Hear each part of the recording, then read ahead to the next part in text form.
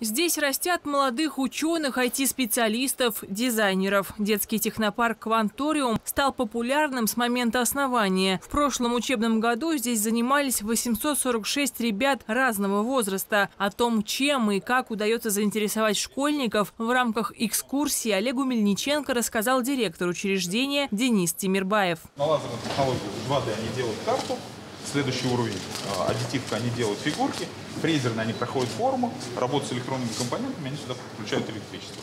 Это первый год у нас, 72 часа, они как бы заканчивают, имеют полное представление по современным технологиям, какие аспекты у них, какие плюсы, какие минусы у каждой технологии есть. Передовая площадка интеллектуального развития помогает школьникам освоить новые навыки, раскрыть таланты, а некоторым пойти дальше. Ребята со своими уникальными разработками в различных сферах занимают призовые места на всероссийских конкурсах. Наша задача вообще вырастить такой класс почемучек, которые поведут за собой людей э, на перспективные рынки, которых сейчас еще нету, но они вот-вот создадутся. Вот это такая амбициозная наша задача, которую мы перед собой поставили, и она, в принципе, решабельная. Главная проблема – отток специалистов в другие регионы. Кадровый голод периодически наступает и в Кванториуме. Его пытаются решить путем привлечения к работе выпускников технопарка. По словам специалистов, ребята остаются, ведь им предлагают достойные условия.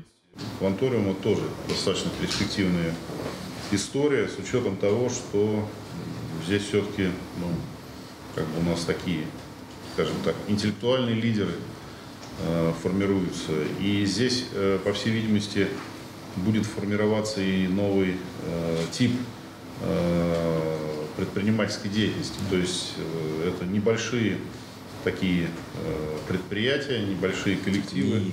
Да, фактически с э, полным участием всех работающих, так сказать, э, в распределении прибыли. В ходе заседания участники мероприятия также обсудили вопросы, которые касаются инвестиционных проектов и поддержки тех, кто их реализует.